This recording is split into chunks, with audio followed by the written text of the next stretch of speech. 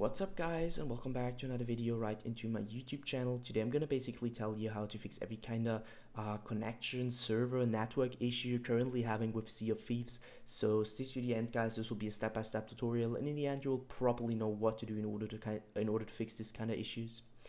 Before we start right into the video, I just want to you guys know, let you guys know that I would really, really appreciate it if you would just leave a like, a comment, or a subscription right into my YouTube channel. It would really make my day and help me out as a little YouTuber as I am especially subscribing would be such a big support for me guys. You would support my work in youtube a little bit and i'm gonna really really be thankful for that and i'm gonna thank you for that. So anyways i would just say let's get right started.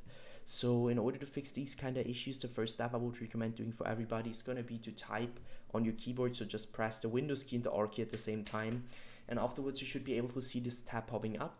And what i want you to do is simply just type in cmd and hit enter so once this tab pops up, just type in what I'm going to type in. So ipconfig space slash flush DNS and hit enter. So once it is successfully flushed, you should be able to end this task again. The next step is going to be to navigate to the bottom left corner of your screen, opening up your settings, navigating right into network and internet, and clicking onto network and sharing center.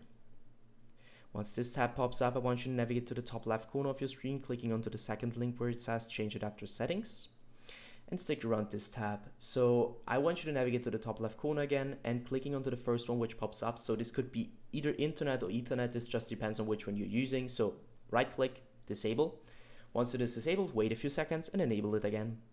This enabling process could take quite a few moments. So just wait, if, uh, wait patiently until it's connected again and once it is connected then you should be able to end this task and return back to your networking sharing center. Uh, once you return back, I want you to navigate onto the blueprinted text. So this could be could be again either internet or Ethernet. Again, click on it. Uh, once this tab pops up, click on properties and double click the Internet Protocol version 4. But I want you to enable the following DNS server addresses and type in the, on the top the Google server addresses, what, what do you want, or 4 times 8 at the top and 2 times 4 and 2 times 8 at the bottom, or so on the alternate DNS server. Once you did that, just click OK and apply it, and you should be able to have uh, your game running smoothly again.